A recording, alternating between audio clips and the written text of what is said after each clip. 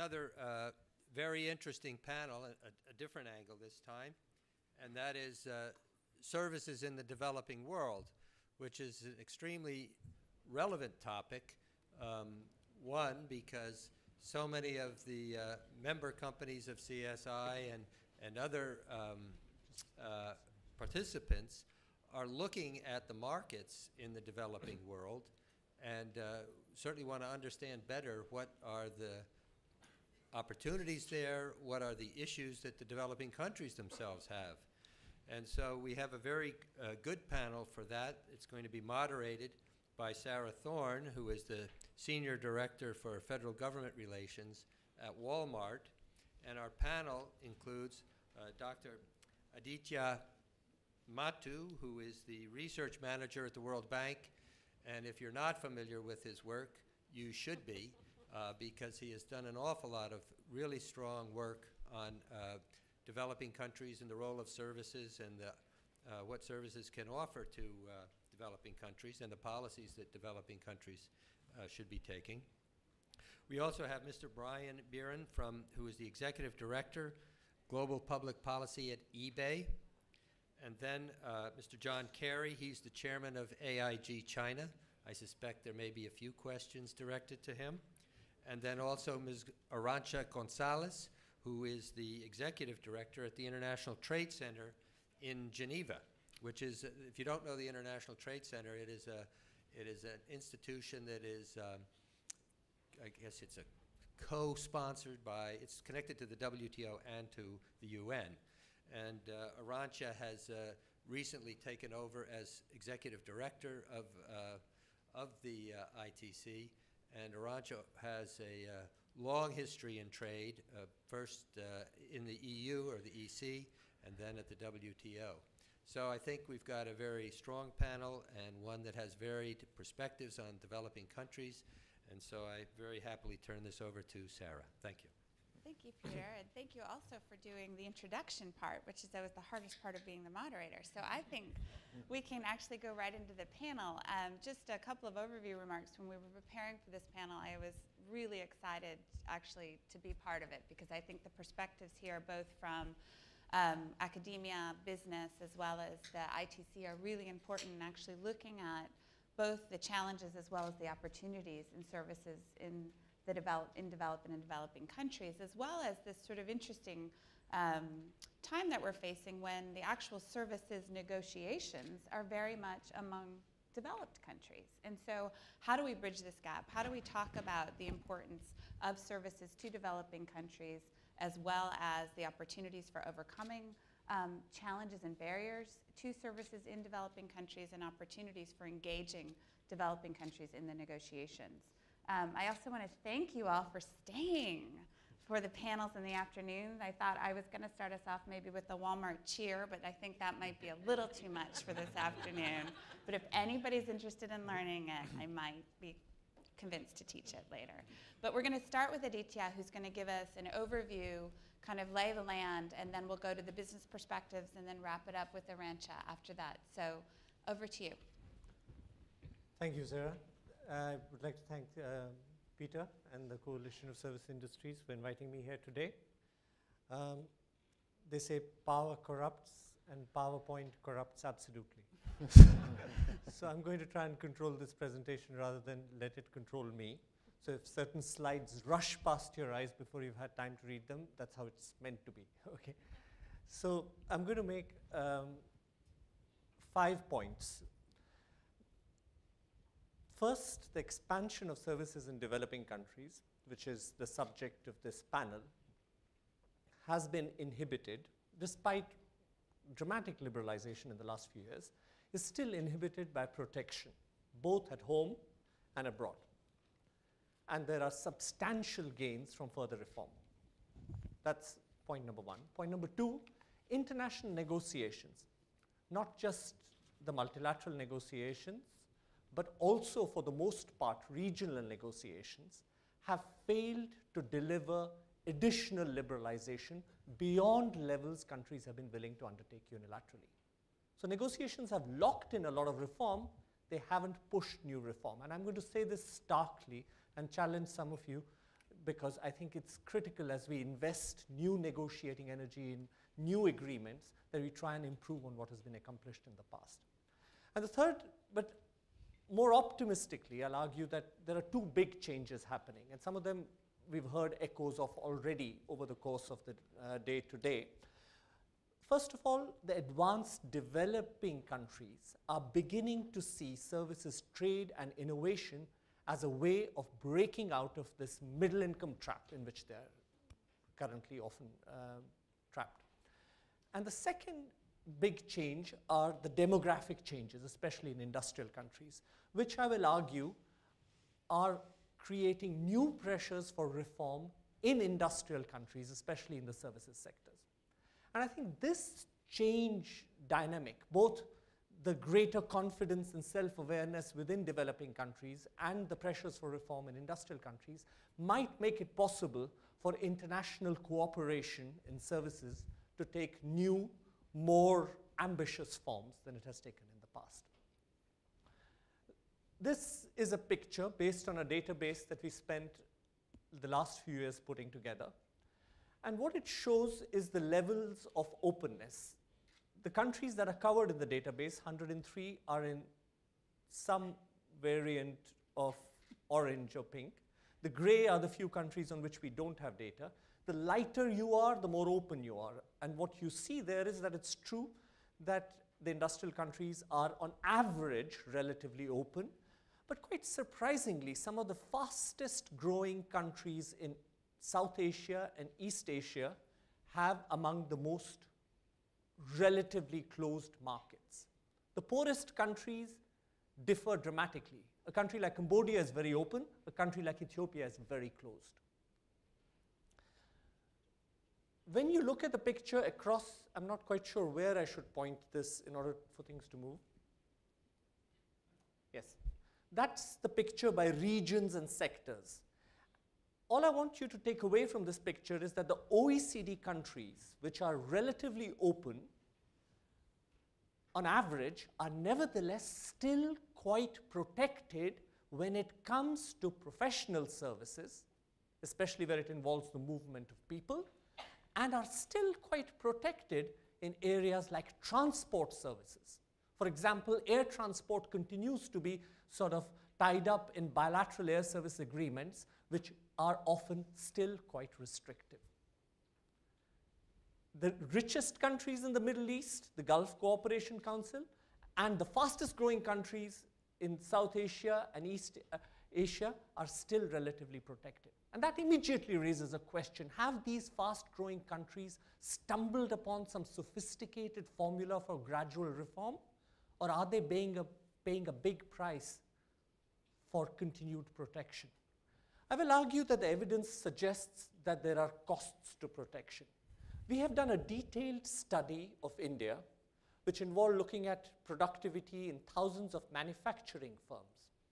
And we came up with a surprising fact that services reform has not just unleashed productivity growth and services exports in India, but even the revival of the manufacturing sector has had more to do with services reform upstream, which improved access to telecommunications, transport, and financial services, than to reform even within the manufacturing sector. Now, that's an example of a country which is reforming unilaterally, gradually. But in some cases, you can't do it alone. It really does take two to tango where it comes to transport services. And here our research suggests that more restrictive transport policies are associated with more expensive and poorer quality logistic services. This is important. We have heard about how one of the early harvests that we are going to get from Bali is a trade facilitation agreement. But the gains from this, it's a little bit like you know, Hamlet without the Prince of Denmark, that you're going to get customs reform, but you're not going to get competition in transport services. And there, our research suggests the biggest cost savings could come from more competitive transport services. And if a country wants to reform air or maritime transport, it can't do it alone. If Zambia wants more competition on its international routes, it needs to have the agreement of South Africa the uh, United Kingdom. And so it is a bit perverse that the WTO has de facto excluded transport from the scope of its services negotiations, air transport explicitly and maritime transport implicitly. This is a picture that I've shown often, and again, just very quickly, the red dots represent actual levels of openness in individual countries measured on the vertical axis. Countries are just arranged along the horizontal axis according to their per capita income. The blue dots reflect what they committed to in the last Uruguay round negotiations. The green dots, what they have offered in Doha. And what I want you to take away from this is basically that the best offers that countries made in the Doha negotiations didn't even come close to capturing the openness that already exists, let alone promising new liberalization. Now, that I think most of us suspected. But many of us have thought of regionalism and preferential agreements as the new sort of mantra. And it's sort of fashionable these days to think of protectionism as the dog that did not bark during the crisis. I think regionalism is a dog that has barked but doesn't seem to have bitten much. Because again, when you look carefully at a lot of these agreements and you ask how far have they induced countries to actually change their policies on the ground, and the answer turns out to be not much. And you know, you can think of Costa Rica doing something in telecommunications and insurance, but you have to look with a magnifying glass to find examples of regionalism delivering significant reform. So let me stop there for a second to reflect that there is protection and international negotiations haven't done much about it so far. What is changing? First of all, developing countries are seeing and developing a new stake in trade and innovation and services. So this is a study of a relatively advanced developing country, Chile, where we again looked at firm level data both on trade and innovation and from this complicated picture, all I want you to take away is that far fewer services firms export than manufacturing firms, again, not unexpected. But the premium on size is much smaller in services. So that's a question maybe that Brian is going to come back to, is that participation in services trade seems to place a smaller premium on being big, but it does place a premium on having access to skills and ideas. And that matters because when we look at the pattern of spending on innovation, we were quite struck by the fact that the tradable services firms end up spending almost as much on innovation as the manufacturing firms. And that forced me to think hard about, and we saw nice examples from you this, uh, in the previous session on what this innovation might be. But I was curious, what is innovation in services. And I'm going to show you a few pictures. Enaex is a Chilean company which has become a global pioneer in providing rock blasting services to mining companies. And how did they do that? First of all, that huge vehicle you see is the world's largest truck for mixing and loading of explosives. And it's apparently incredibly safe because of having a flurry of trucks going back and forth. It's just one big vehicle which contains everything. It's equipped with IntelliBlast, which calculates how much explosive is needed, where it should be planted. A GPS device transmits that information, information to the machine, and that develops customized explosives in terms of location. Apparently, it's a global pioneer. The port terminal in the region of Arica and Parinacota has innovated along multiple dimensions. The whole layout is apparently innovative. How they allocate slots is innovative. They've automated the whole data collection system and how to track loads.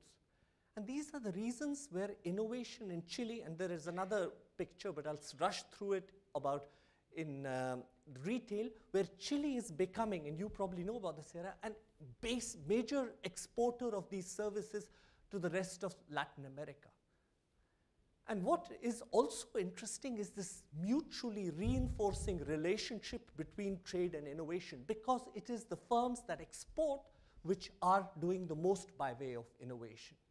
And that's why it's not just a Chilean story. When you look at India, China, about which some of you know much more than I do, you will see that there is a great sense of awareness that if a large chunk of your economy is in services, how much you export and reap the benefits of external demand, and what your productivity gains are domestically will be a driver of development.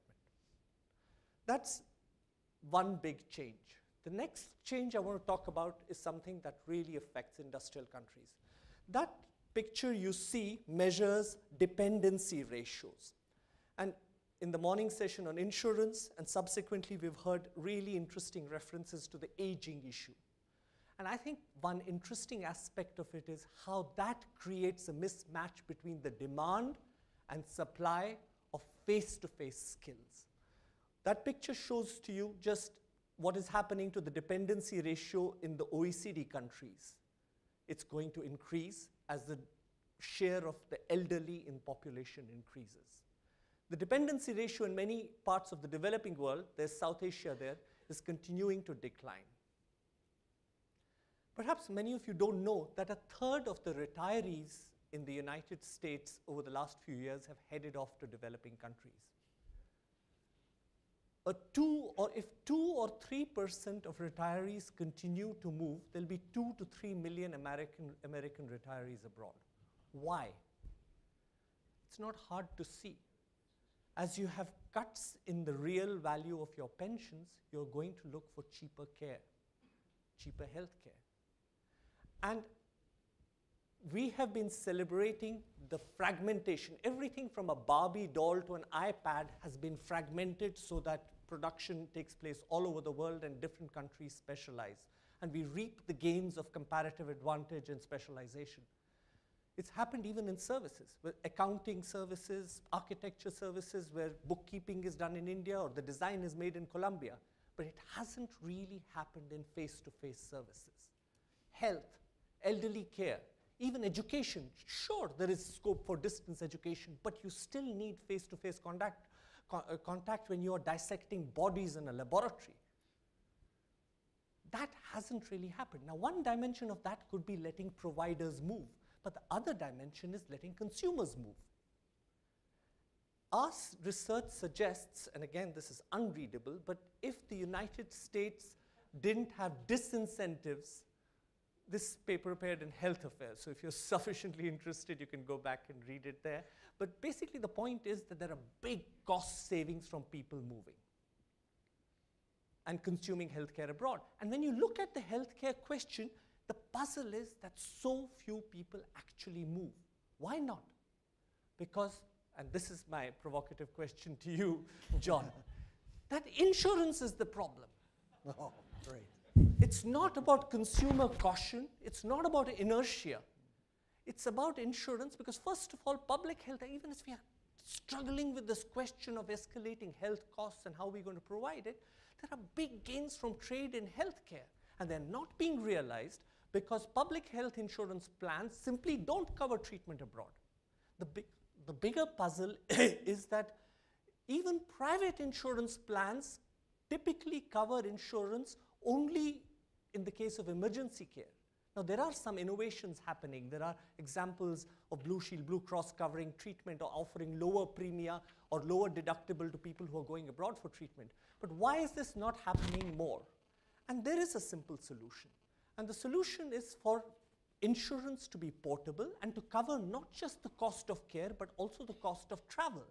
Because otherwise, and I would love to hear what you think about it, because the gains from people moving abroad, only a fraction of them accrue to the consumer. But the consumer is obliged to bear the whole cost of travel. So, a simple insurance program which said that we'll cover all your costs provided they're lower than what you have to pay here, including travel, would immediately eliminate the home market bias in the consumption of healthcare. But that doesn't mean that it's only the industrial countries. The developing countries have to find ways to improve care and credibly signal it. There are institutions like the Joint Commission International which offer this kind of certification. And can I go on for a few Yeah, it's just, Yeah, okay. make it stop beeping for a minute. So The red light makes Okay. Karen. there might be a guillotine hovering. so, so and, and, and the developing countries need to be able to use the revenues from these exports of uh, services to try and expand domestic care so that you don't have this fear of crowding out. Now, that elaborate example on healthcare, I could go on about savings in education, but I'm going to rush through it to just say to you, for example, that just as in Barbie dolls and iPads, there is a standardized component to education and there's a more sophisticated. And you would expect in an integrated world that the standardized component is provided where it's cheapest to provide it.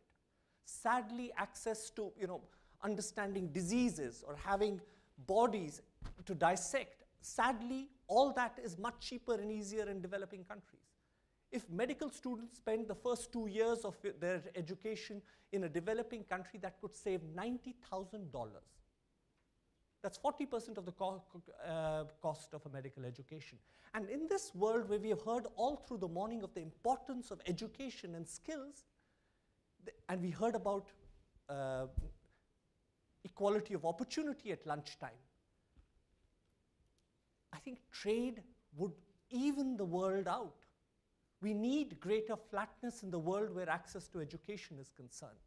And at the same time, there is a problem in developing countries. They restrict investment in higher education.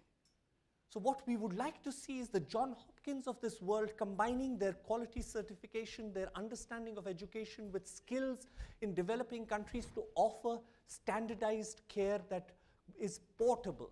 And that's the second portability that's missing. Education is indivisible. You can't carry two years of an education qualification across borders. So just as we need greater portability in insurance, you need greater portability also in education qualifications. But anyway, putting these two things together, trade and innovation, new stake for developing countries, aging pressures, creating a need to consume services abroad, but that's not all. We were looking at patterns of Europeans leaving their countries. Spanish, 100,000 Spanish people typically left in the mid 2000s. Arancha, you Spanish? I am. Do you know half a million Spanish people left in the last few years? And where do you think they went? Only one third of them went to Europe. Sensibly, many, a third of them went to Latin America, a quarter of them went to Africa and Asia. And that reveals that there is a mismatch in skills demand and skills availability because of the shift in economic dynamism. Brazil needs 60,000 engineers every year. It produces only 40,000. It makes sense for countries where unemployment is one in four to look for opportunities in the developing world. So both in, as consumers and service providers and individuals, there are new opportunities opening for people in industrial countries to look south. So for the first time, we might begin to see two-way flows of people. South-north migration will always be true because innovation, and that's where I think the po points that we heard in the last panel are critical, that there are always going to be powerful magnets to draw people to the industrial countries, whether to innovate, whether to work in sophisticated or acquire sophisticated education and skills. But there could be scope for the movement from south to north to south, whether it's for students to acquire standardized skills, whether it's sick to acquire medical services, or the elderly in response to the reduced pension benefits that we are seeing. And these two things together I feel might change the complex of how international negotiations are today conducted. And we might see scope for a more proactive approach with developing countries seeing the domestic development imperative for reform and opportunities offered by the changing environment. And there I'd suggest, if anybody would listen to me, that the large developing countries would do what China is already contemplating join the trade and services agreement and de facto multilateralize it by their very presence. And enter it not grudgingly accepting these standards that have been exogenously set, but by demanding and setting new levels of ambition, which are consistent with their stake in greater openness at home and abroad. What could they say? No new restrictions, especially on cross border trade and business services, and more open transport. And in that context, more open data flows sub subject to reasonable prudential concerns. Pre-commitment to reform, if they're not ready to open up today, if India is, wants to do this gradually, lock it in and use that gradual promise of gradual opening as negotiating currency. And in return, greater assistance to develop the regulatory assistance and regulatory cooperation that might provide them with the reassurance they need to open their markets. And finally, greater scope for two-way flows of individual service providers and consumers, perhaps where necessary, with source country obligations on screening and certification to provide the reassurance that people need to let people move. I think stating that level of ambition could have a radical impact on the way negotiations are conducted today. Thank you for being indulgent. Thank you very much. Uh, You, Aditya. I think you have set the table very well for additional conversation and certainly kept us all awake. So I think what I'd love now for Brian is, is to put a little more practical examples on this new global services economy and what you're seeing at eBay, and especially with your new role, how you're thinking about these issues. Okay, well, thank you, and um, I don't have any slides, but I do have some notes, so I'll try to, try to hit first off what I was hoping to talk about. And one thing, one of my favorite quotes of all time for those who remember back to the 1992 presidential debates and Admiral Stockdale and his great line, who am I and what am I doing here? I often, I try to use that whenever I can, primarily because I often wonder myself, what am I doing here? I do know who I am, thank God. I'll get to that stage in life, and then, and then I'll really ask both questions all the time. Um, and, and, you know, honestly, I work for an internet company, but tend to talk about commerce and stuff as opposed to cross-border trade and services, because the services in the, in the context of eBay Inc. businesses tend to be um, services that, that facilitate commerce in actual things. You know, it's, they're primarily used by small retailers around the world. Um, so it's a, it, I'm also an internet company representative who is not talking about the opportunities uh, for growth from other internet companies, nascent startup internet services businesses. Actually, these are primarily not what you would consider if you saw the people, tech companies.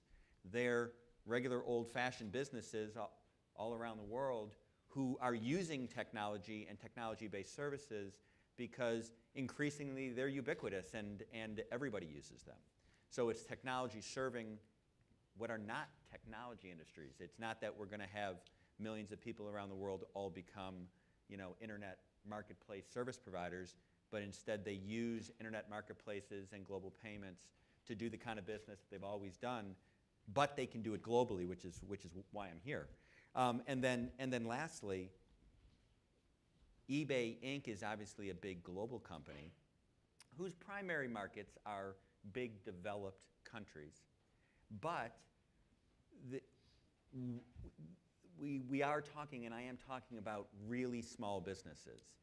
And, and that's a key thing, is that most of the stuff that is sold on our marketplaces around the world are sold by businesses, small businesses, that are like less than 10 employees.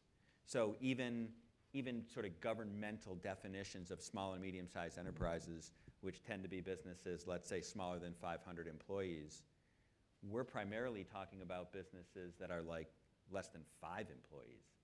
And, and what's remarkable is how these businesses are global. And, and it's actually, I'd love to see a show of hands of all the folks in this room um, who work for companies with five or fewer employees. You're probably little services su su suppliers. How, how many countries do you export your services to? That's the coalition of services industries. Oh, okay, so that's the. That. Generally, most global trade conferences and things like that don't have a lot of folks in the uh, in the room with less than five employees. Um, and historically, around the world, small businesses tend really not to export much at all, um, less than 1%. And when they do, it tends to be because they have, let's say, an owner has a personal relationship, maybe a family relationship to another country. So they tend to maybe export to one country. A couple years ago, we at eBay realized, first, honestly, on the policy side, it was almost anecdotally, just sort of meeting small business people and having them tell us about how many countries they were selling to. And as an old, as an old trade staffer, I see Meredith Broadbent over there. She remembers 20 some years ago when I was on Capitol Hill with her doing trade policy. Um, she doesn't look like she's been doing it for 25 years, but I do, I know. Um, and they're all exporting. And I'm like, wow, these are one, two, three person businesses talking about how they export 25 or 30 percent of their, of their sales to 25 or 30 countries. And I'm like, that does not happen. Like Sarah knows, the number of the top 10 US retailers who export more than 25 uh, percent, I think it's two. I think it's Walmart and Amazon. Um, on eBay in the United States, it's like 250,000. But they all have, most all of them have like less than five employees. And so we said, wow, let's look at the data and actually study this. And we learned, in fact, that more than 95% of the, of the small businesses on our platform sell abroad. They average approximately 30 markets per year. Um, and the, the internet enabled global commerce marketplace is much flatter than the old world of doing business in the sense that it's easier to access markets, survivability by new firms is higher, and the distribution of sales among firms is much more broadly spread out than it is in the offline world. These are all great things. But the first couple years of our studies, honestly, were based on data um, from our big markets, so the US and Germany and the UK and places like that. Just about a month ago, we put out another study. Um, we call it eBay for Development. And it confirmed what we suspected, which is that the global marketplace created by internet services, so that's kind of the hook to the services world, is it, it's global everywhere. You know, the internet is obviously inherently a global network, an open global network, and entrepreneurs and small businesses are using it literally everywhere. And when they do, they almost have to work hard not to become exporters. And so, in fact, all of the same general data points and trends that we saw for small businesses in the US and Europe, they were actually confirmed when we started to look into those who use our services in Chile and Peru, Ukraine and South Africa, Jordan, India, Indonesia, and Thailand. And so, why did we look there? Well, one reason was um, because we suspected it was true, and we wanted to find out if, if we could go around to places and say that's actually true, that this works in the developing world. Part of why we do it is we believe that there is tremendous social benefit globally for globalization and the global economy working for everyone. And this is everyone from the perspective of the small as well as the really big, but this is everyone in terms of the developing world along with the big, rich, developed world. And to be able to show that that is possible, we think that's a really valuable thing. We think it's something that policymakers around the world actually care about. Um, we also have used our data and worked with some economists to show that there's tremendous economic value to this. That, that if you believe that trade works and if you believe that cross border commerce actually brings greater efficiency and wealth creation, more of it's better.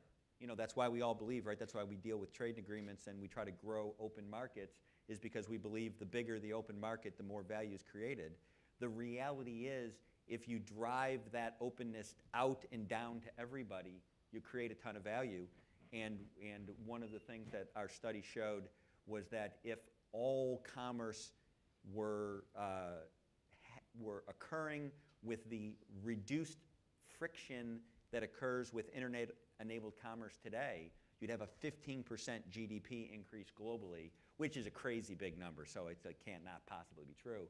But that's what the number shows, because the reality is the reason why there's so much of this small business commerce going on cross border is because the internet reduces a bunch of frictions. So it's great from an economic value.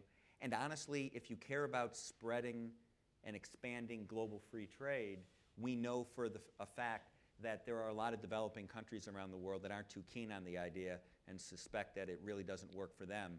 And this is concrete data that actually it does, that it does work for their, not just their couple of giant businesses that oftentimes dominate their economies, but for the mass of really small enterprises that have an opportunity to engage in global commerce in a positive way.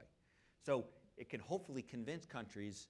So some of the countries that we, pit, we, we picked, we might have picked because we thought they were kind of important from a global trade perspective. Um, we can now go to their governments and others can go to their governments and say, this is really important for your small business community too. So it's services, and, and so from a policy perspective, what we then are talking about and advocating for are first of all policies that do maintain and expand access to the global internet and its service providers.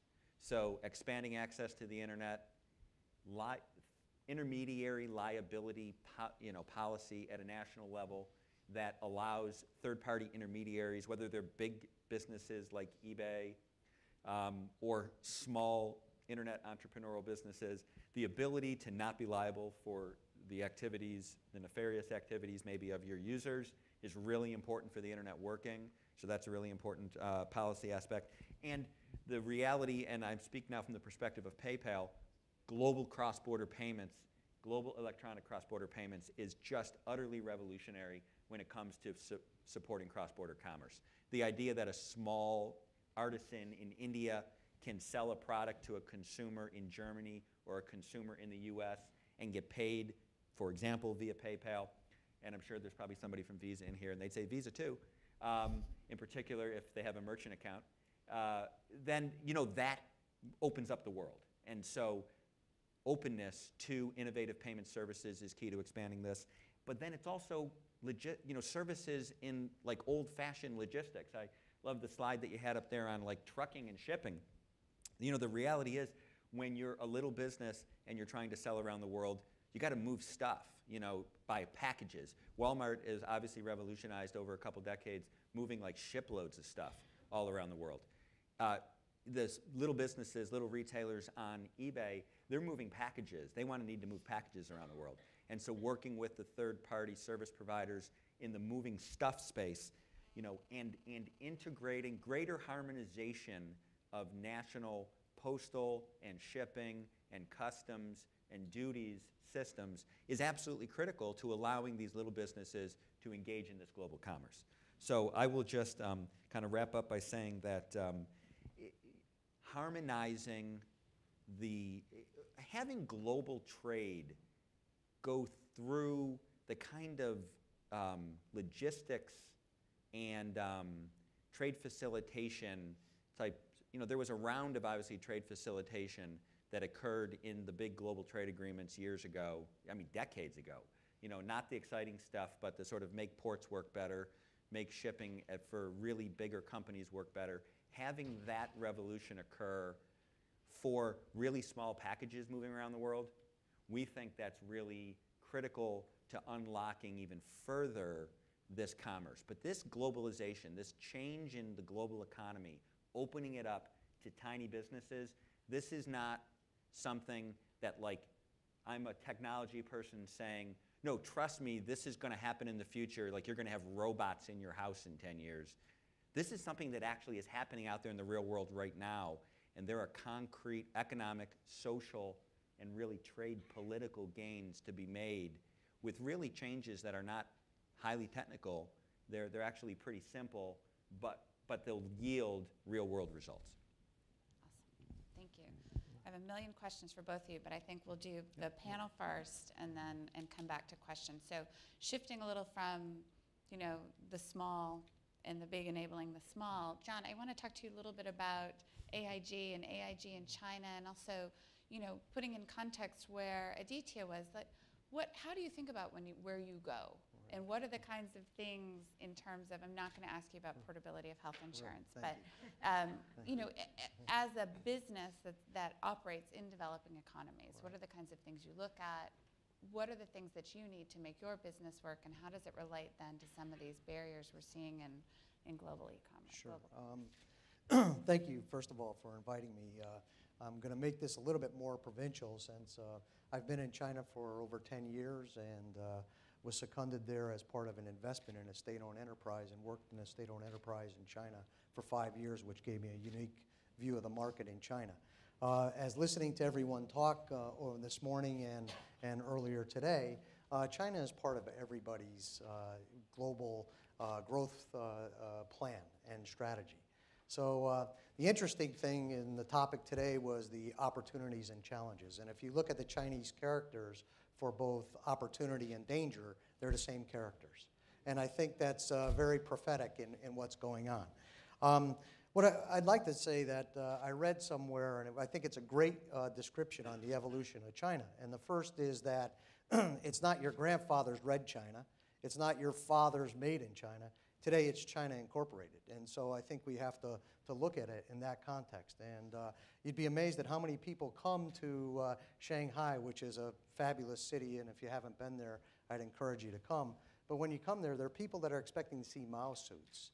And uh, uh, maybe 10, 15 years ago, you would see that. And if you travel out to the west, you may see that. But it's a totally modern country. So uh, competing there is, is very, uh, is very difficult. Um, there are a number of companies that come there. When I was based in Beijing, I would, I would, there were companies that would come in to either uh, do some due diligence on getting into the China market or looking at expanding in the China market or starting their business in the China market. And after having a number of conversations over the years, I've come up with what I call the eight kind of guidelines for doing business in China. And um, I, I, hope this relates to what this topic is today, but I, like I said, I've heard a lot about China over the last uh, uh, morning and last evening, so I figured this might be more topical, or at least topical. Um, Again, uh, the, reason I, the reason I use eight is because eight is a lucky number in Chinese, and uh, usually there's the three guarding uh, principles or the seven uh, prevents or, or some number, so I chose eight. And so um, these are, when I talk to people about doing business or starting business in China, these are the, these are the, the key items that I cover. Uh, the first one is a focused strategy and business plan, and I know it sounds simplistic or common sense, but when people come to China, there are so many opportunities that rather than focusing on two and three and executing them, what they'll do is they'll focus on 10 or 15 and, and get very frustrated and not focus on any of them and find that their business moves even slower than it does usually in China. And sometimes they get lost. Um, another another uh, uh, number two, what I'll say is a, a long term view and investment. Again, it sounds like it's simplistic, but people forget that. Uh, I think to have a long term view in, in China, you can't only measure the dollars and cents. You have to have metrics for your company so that you can see that your progress is being made by making advancements on your strategies, not just in your dollars and cents. It can't be measured quarter to quarter. The Chinese waited 100 years to get Hong Kong. You have to have a long 5, 10, 20 year view in China. And AIG's view is, is, is even longer than that. We started in China in 1918. Uh, we, we were the first insurance company allowed back in 1992. Um, you know, our view is for the next 100 years there. So you have to have a long-term view. Uh, core values and business flexibility.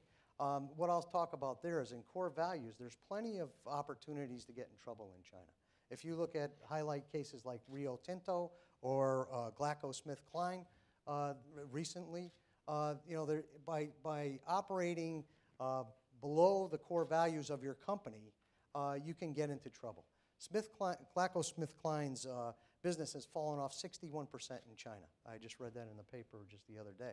Um, so what you have to do is you have to have to understand the core values of your of your company, and as well the people that work for you inside the country have to understand the core values of your company. That's very important. Uh, adjusting and business flexibility. Uh, I'll use Walmart as an example. Walmart uh, has been in China for a while and has been frustrated and, and moving kind of slowly. I, I, just read recently where they've changed their strategy.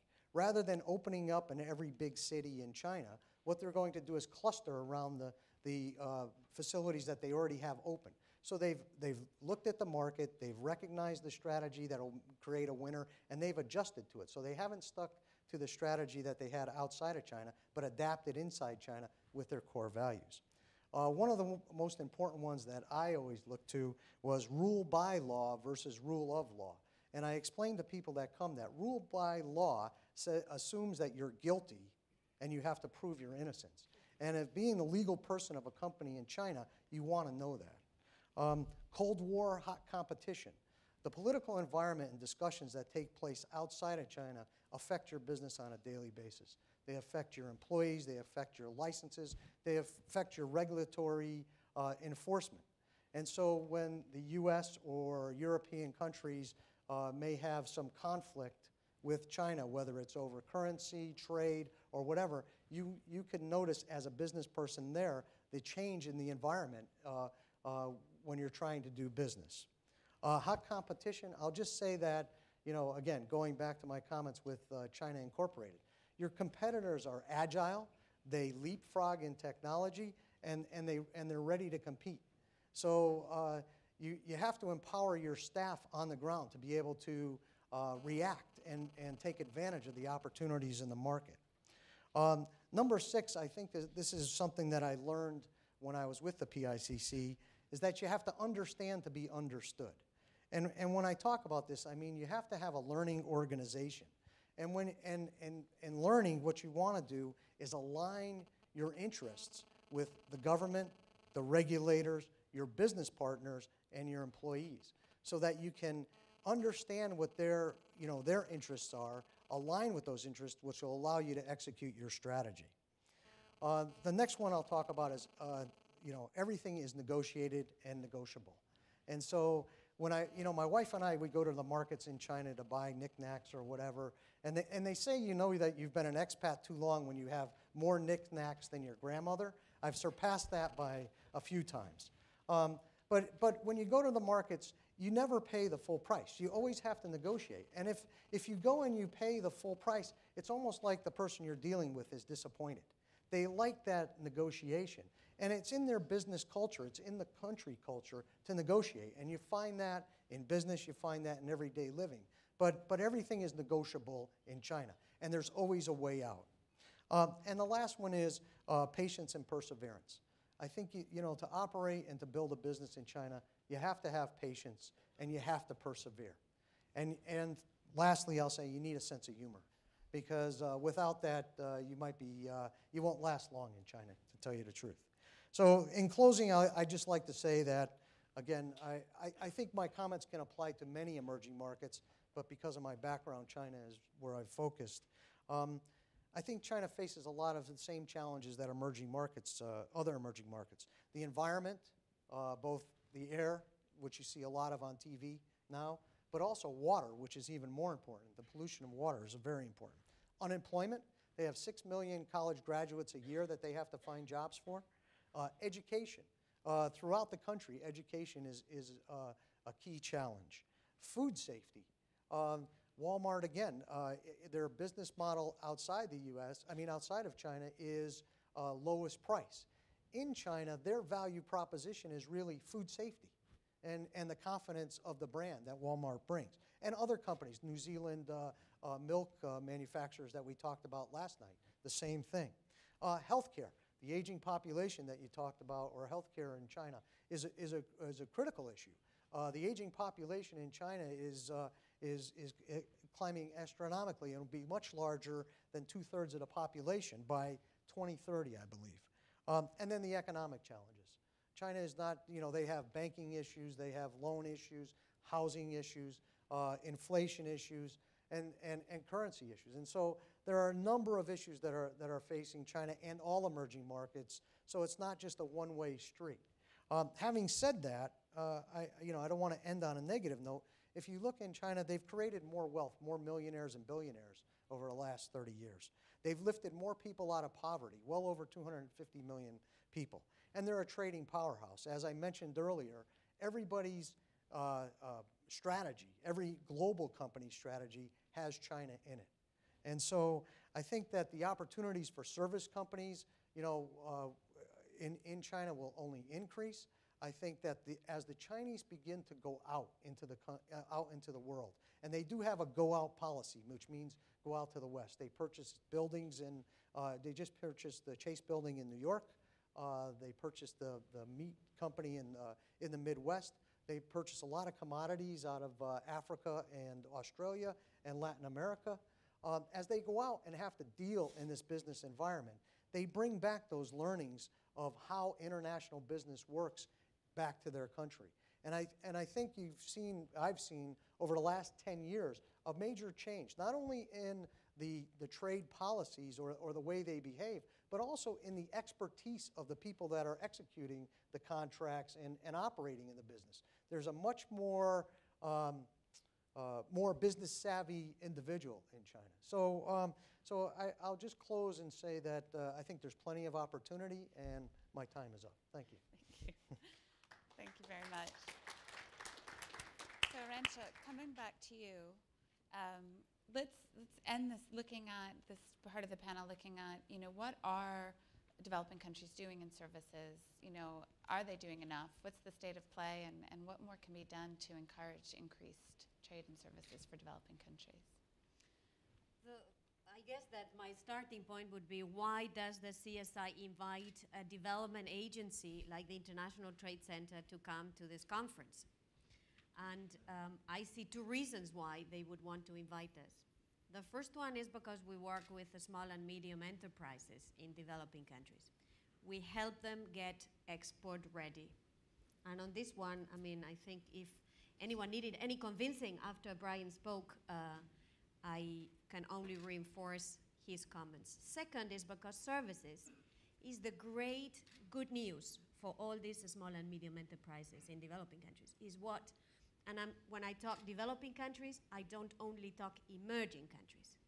I talk least developed countries. I talk landlocked countries. I talk Africa. I talk Central Asia. I talk East, uh, East Asia.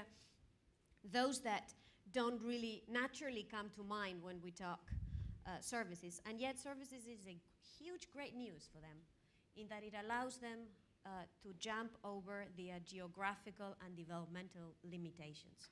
So um, we are extremely interested in participating in this discussion because we think services are great news. If we look at the figures, and just to complement uh, the uh, data that Aaditya gave us, uh, the participation of developing countries into the services, world services market has trebled in the last 20 years. Uh, but what I would say is that behind these big numbers, and they, these are huge numbers, lie huge disparities with least developed countries only representing about 0.6% of world trading services. So small and medium enterprises, least developed countries, huge untapped potential in the area of services. Now, we've heard a lot about opportunities. I want to focus a little bit on the constraints because what we do is address, try, help countries address, and help small and medium enterprises address those constraints.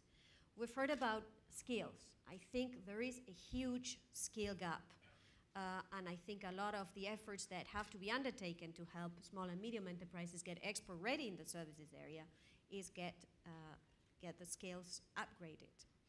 Uh, second, not surprising either, the domestic regulatory legislative environment is sometimes not really conducive to getting export ready and to uh, getting tapping into the services uh, markets.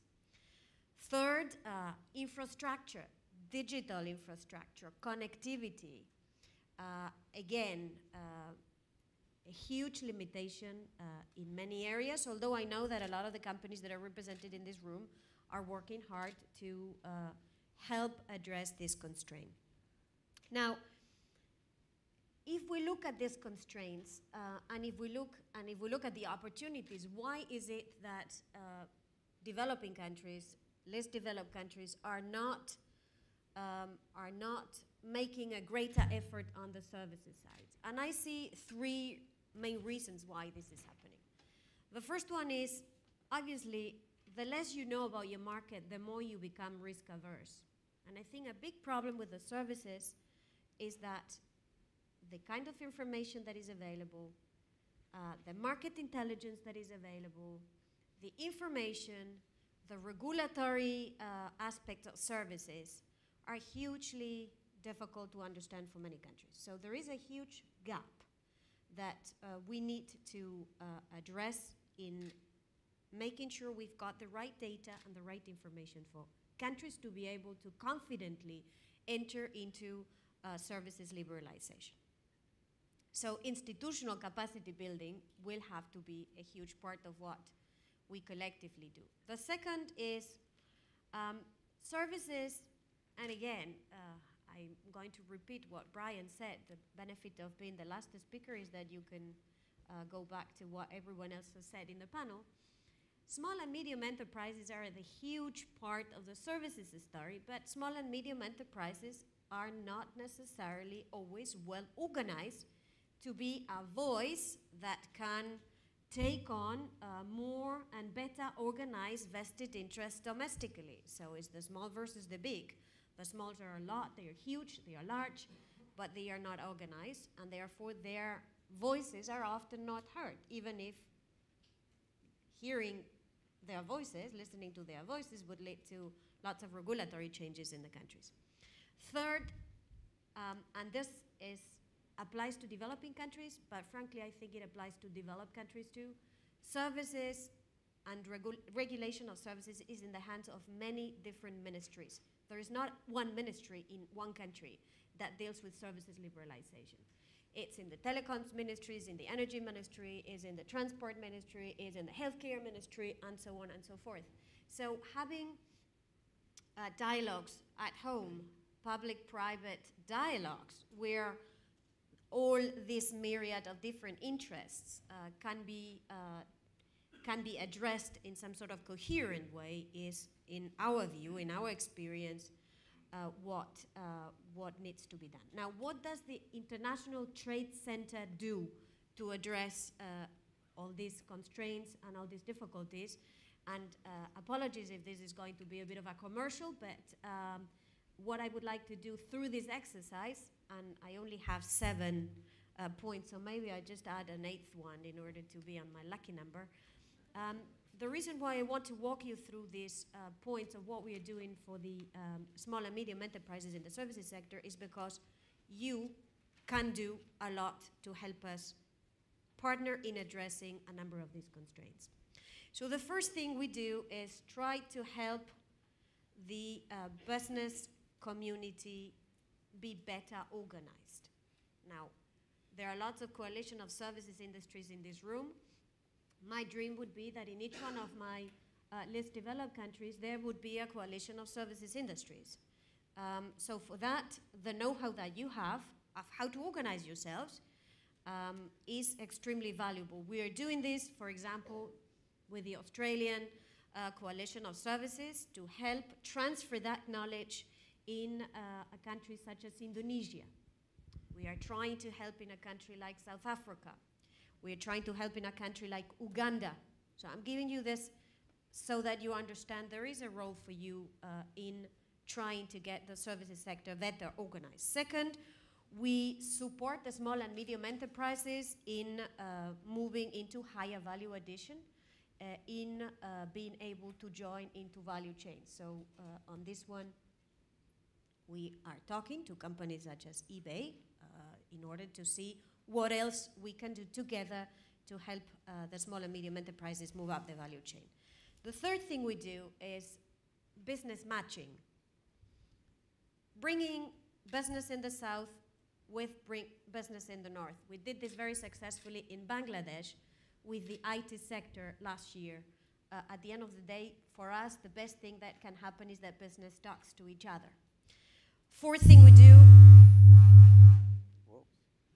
All right. Fourth thing we do uh, is we help trade and investment promotion organizations. They are, again, a big multiplier voice of the small and medium enterprises locally. Fifth, huge potential for helping achieve coherence in places where there are regional integration processes, whether it's in ASEAN, whether it's in the Caribbean region. We work with the uh, small and medium enterprises and with their um, associations locally to make sure there is some coherence in the way services are going to be uh, liberalized and regulated at the regional level. Sixth thing, and on this one uh, we think we need to have a little bit of a closer look, is um, addressing uh, the difficulties in financing small and medium enterprises services experts. We have uh, discussed a lot trade finance for manufactured goods, especially during the crisis, but we've spoken much less about financing for services trade. And we think this is an important uh, part of the story which uh, we need to dig uh, into uh, more. Finally, uh, mentoring and incubators with the private sector. And on this one, after we finish this panel, anyone who's got ambitions to be uh, incubators, uh, to be models uh, for small and medium enterprises in the South, please come and talk to me because I am very eager to tap into your potential. Final point in order to get into my magic eight. Um, I heard a lot this morning about um, data flows. I heard a lot about e commerce. E commerce is huge. Uh, again, to echo Brian, e commerce is hugely important for small and medium enterprises in the South.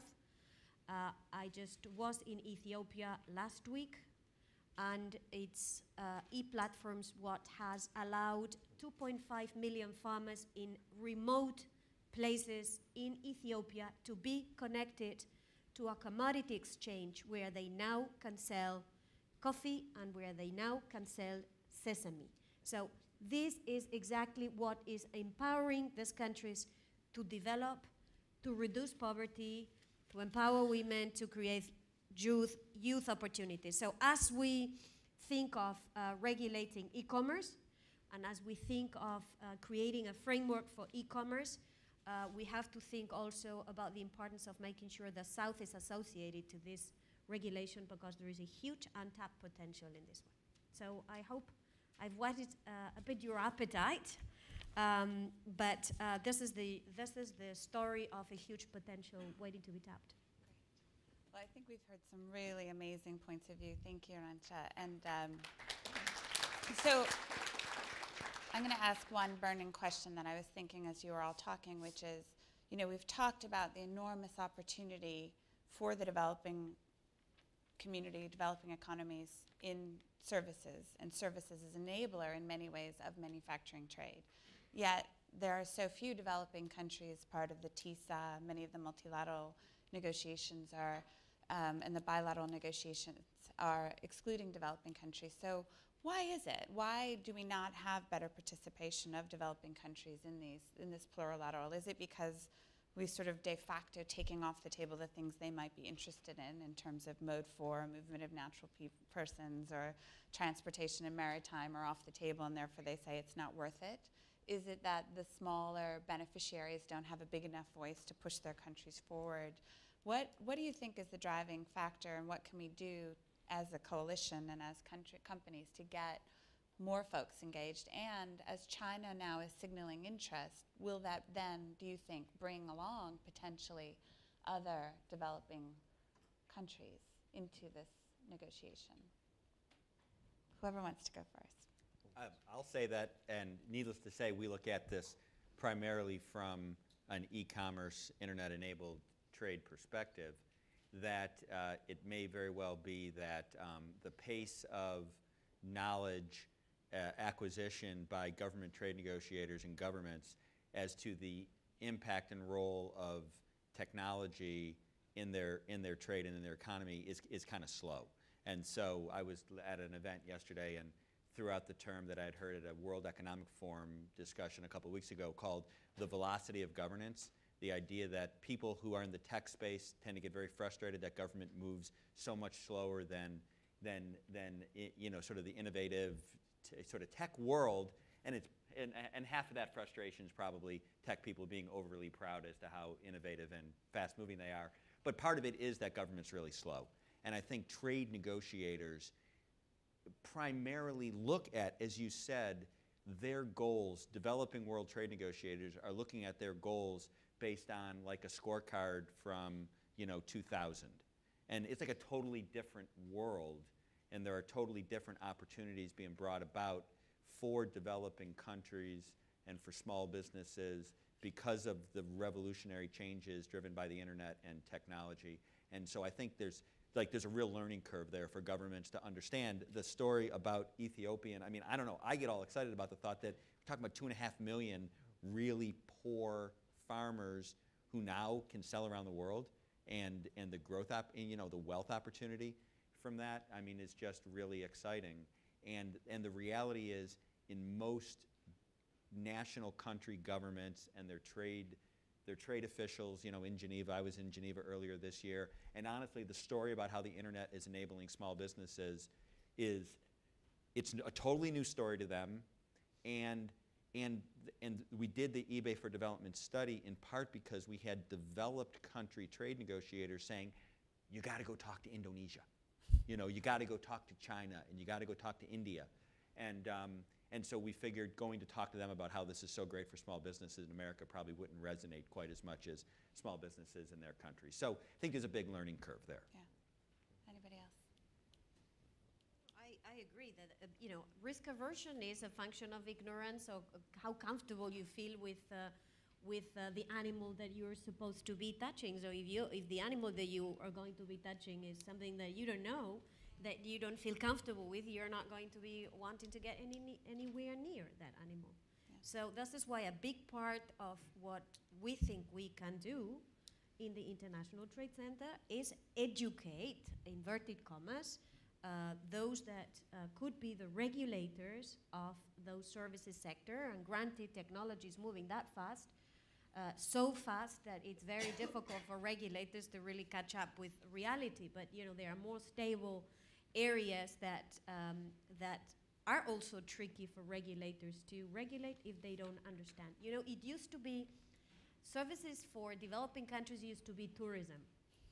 Tourism me meaning hotel and beach, but it's not any longer just tourism, hotel and beach. It is also that, but it's now uh, medical tourism. It's a huge part of what uh, many of uh, these developing countries are uh, looking at. It's about logistics, it's about transport, it's about distribution, it's about ICT, huge. But you know, all of that you need to get to grasp with all these very technical areas in order to feel comfortable that you can go into an international negotiation to exchange your trade opening for somebody else's trade opening. And this is why, in my view, a lot of what we see in services is not liberalization through negotiation, but rather capturing in international agreements liberalization that is taking place at home. I, I think uh, I agree with much of what has been said, but I'd say there are three reasons that why developing countries hold back, and there are good reasons and bad reasons. I think the good reasons is, I think, real concern about the ability to regulate in open markets and a sense of regulatory inadequacy, which in a little bit is what Arancha says, but also the absence of meaningful regulatory cooperation. You know, for example, what happens if you let foreign branch banks in and then there are problems and you're not, you know, where Gordon Brown, the Prime Minister of Britain says, you know, British loans for British firms and so you get an exodus of capital and then there is no meaningful cooperation what happens if Zambia lets ShopRite into its country and then ShopRite becomes the dominant provider or South African Airways becomes the dominant provider and when you say, hey, we're worried about anti-competitive practices and the South African authority says this is not our jurisdiction. So I think there are good reasons you have to worry about, about how whether we can create meaningful regulatory cooperation to provide reassurance to developing country regulators that even if you open your markets, you're not going to be at the mercy of sort of either you know fly-by-night operators or international oligopolies.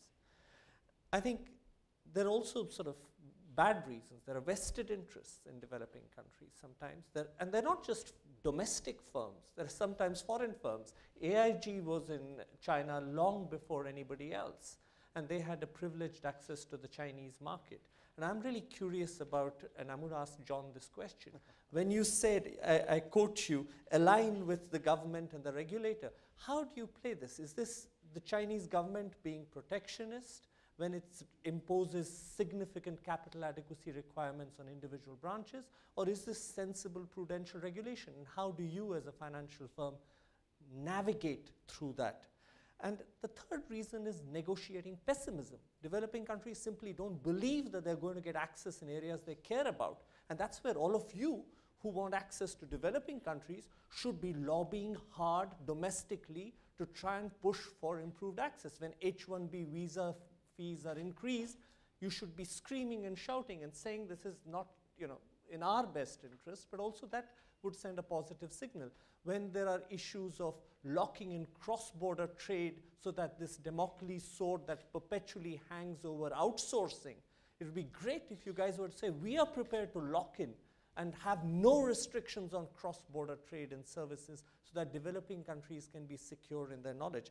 So I think there are good reasons and bad reasons, and we need to think about both. So I'll- I'll, make uh, two comments. Uh, First of all, I think that China's interest uh, in, in participating in international uh, trade agreements also provides them the context to be able to drive change internally.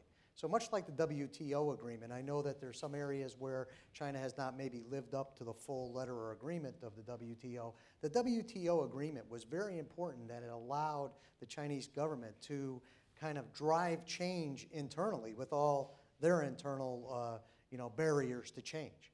And so I think uh, they're signaling, besides the go out policy, I think they're signaling to be part of these other trade agreements would help them drive change inside their country. So I think that's uh, a very positive uh, view. Uh, with regard to uh, my comments with regard to alignment, if, if you understand, you know, when you're selling something, you want to understand your customer.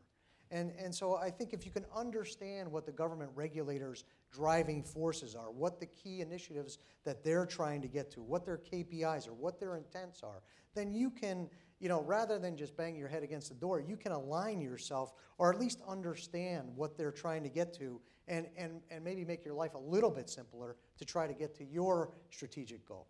So when I talk about alignment, I, it's really more about understanding and communication. Uh, one of the things that, that AIG, you know, because we've been there so long, we do try to educate the regulators. We feel that an educated regulator, going back to your point, is, is, is much more easier to deal with. You can explain why you're trying to do something, what your financial, you know, when you, when you talked about the capital requirements, there's been a change in the capital requirements. There is now a WOFE, a wholly owned foreign uh, enterprise in, in China, which wasn't there before, which allows you to kind of concentrate your capital and then open up branches. The, the, uh, the, the, the Shanghai Free Trade Zone that's going to be opened up is going to be another test tube area for capital, for services. And so I, I think that uh, uh, you know, aligning is, is more around understanding so that you can you know, really accomplish your goals. Great. I'm conscious of wanting to keep us on schedule. I'm looking for my, do we have time to do an audience question? Peter, do you think? One question, burning question, hand up first. Yep.